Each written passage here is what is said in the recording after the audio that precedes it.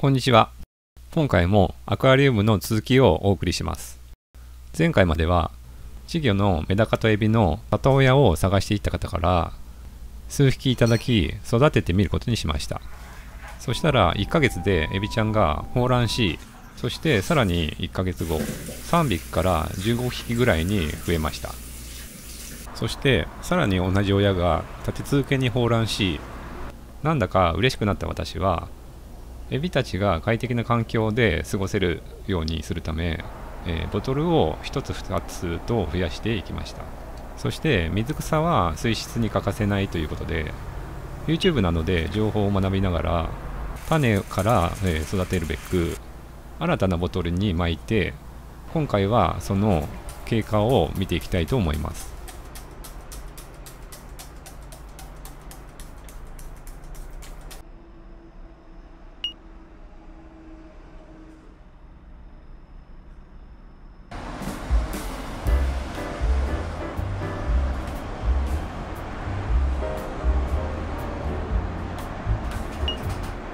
種まきから4日後の朝の様子です。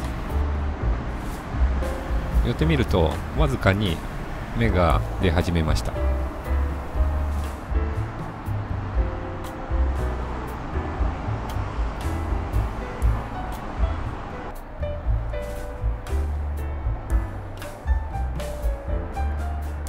他にもホームセンターで水草を買ってきて入れてみます。こちらはオオサンショウモメダカが好む浮草です。こちらはモツファン。エビたちが食べる苔系の水草です。こうして朝からボトルアクアリウムを眺めることが日課になりました。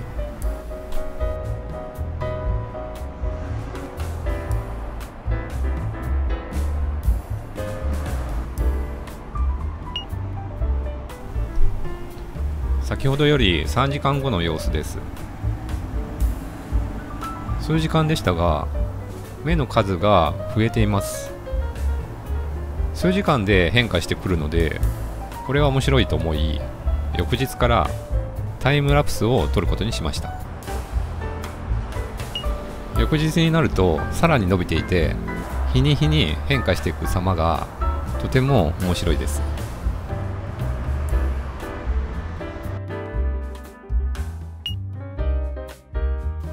これはタイムラプスの映像で日の出から6時間ほど回していましたが芽が出る瞬間は変化が激しいのに対しその後はタイムラプスではなかなか変化が確認しづらかったです。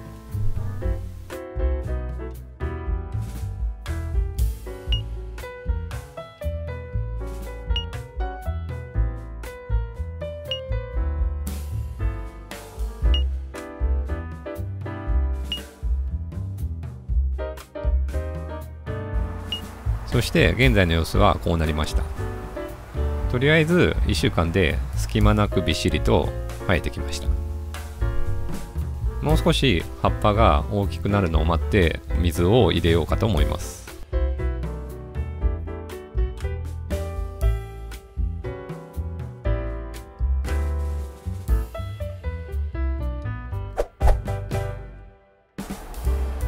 そんな日々の観察をしている中他のボトルアクアリウムの水質にちょっとした異変が生じました。原因はホームセンターに売っていた低価格の水草の詰め合わせを購入して入れたところ歯が枯れ始めていたもので他のボトルより匂いが著しく悪く水質の改善を図るべく調べながら試行錯誤をする様子です。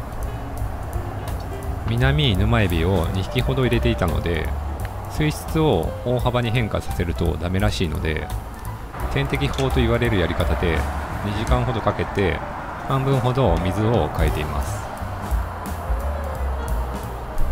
それと小さなボトルは大きな水槽より水質管理が難しいらしく水槽が小さいためろ過フィルターなども小さなものに限られてきます。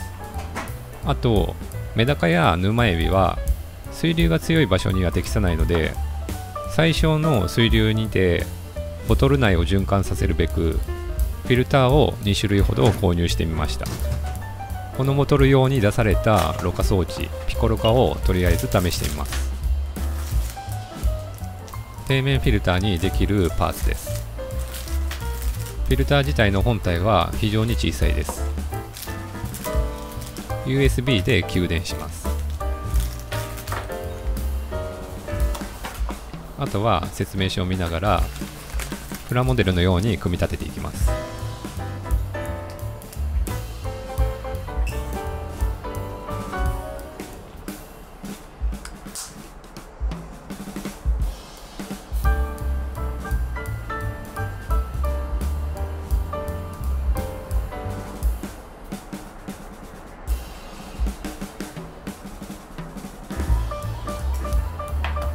USB の AC 変換は入っていないので家にあったものを使います。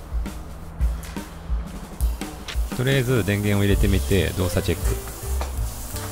水上ではあまり動かさない方がいいらしいです。非常に静かな音で振動しています。電源を抜いて一旦水槽に入れてみます。下の丸いフィルターから、えー、吸引してえーと、フィルターを通って上のパイプから水が出てきます。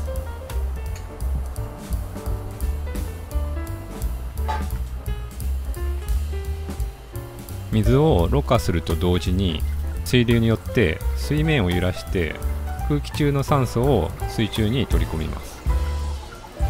水量もこれが最大でコックをひねると小さく調節できます。ただこのピコロカはろ過部分の面積が小さくろ過能力はあまりないそうです。あると便利なメンテナンス道具もセットで購入してみました。砂利を鳴らしたり水槽の苔を取るスクレーパー。水草を植える時や餌やりなどで使用する柄の長いピンセット2種類。水草をカットするための柄の長いハサミ。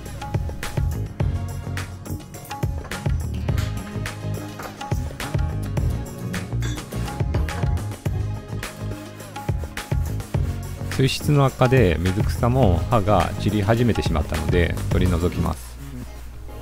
この小さな球体の世界は水草と生物と水質や酸素と二酸化炭素濃度などそれぞれに配分するように自然のシステムをバランスよく保たないと維持ができないシビアな世界です。